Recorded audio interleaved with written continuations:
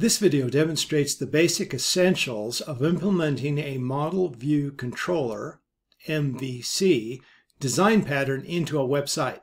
You will note that there are a number of folders within the site. The View folder is where the home page and other views, also referred to as pages, are stored. Remember that a view is a web document that is sent to a browser to allow for client interaction. The Model folder is where all models will be stored. Remember that a model is a file that contains all of the functions needed to interact with the database. Models and views work with controllers in order for dynamic websites to operate. A controller does what the name implies. It controls the flow of a website. It contains the logic needed to determine what interactions are being requested, call for the needed content, call for functions to build the content into a consumable format, and then deliver the content within a view to the browser for client consumption. Previous to implementing the MVC, the home page sat at the root of the website. It has now been moved into the View folder. We want all views to be stored here from this point forward. Now, a controller will be built at the root of the site or application folder.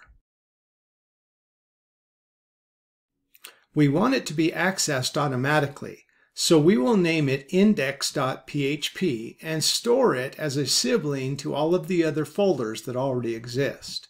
Once the file is created, we will make sure that an opening PHP code block tag exists at the very top of the file. There should not be anything above this code. Beneath the opening code block, we will enter a comment indicating that this is the main controller for the site. Next, we will build a simple control structure to see if a key value pair has been sent to the controller. If found, we will store the value into a local variable named action. The variable name is indicative of a desired action. It is not special. It is just what we are using. You'll notice that the control structure is looking in the get and post objects for a key also with the name of action. By using like names, it helps us follow the data through the entire process. You'll also notice that as the data is collected, we are running it through a filtering process in order to detect any undesired code that may have been sent by a hacker.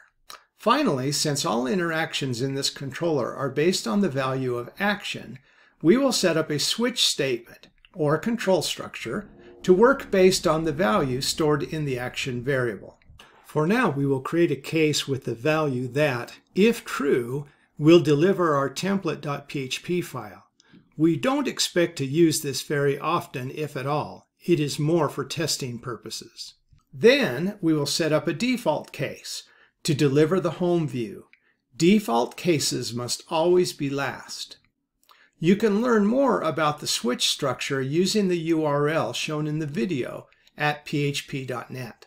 When the controller is accessed by the PHP engine, the action key value pair is looked for. If found, the value is stored into the action variable. The action variable is then checked by the switch structure.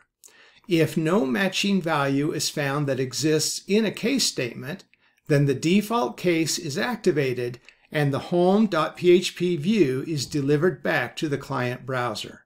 For illustration's sake, you'll notice that I can add a key value pair to the URL with a key of action and a value of template.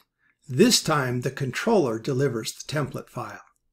This simple illustration shows the controller at work, making decisions, also referred to as business logic, and delivering views to allow for client interactions.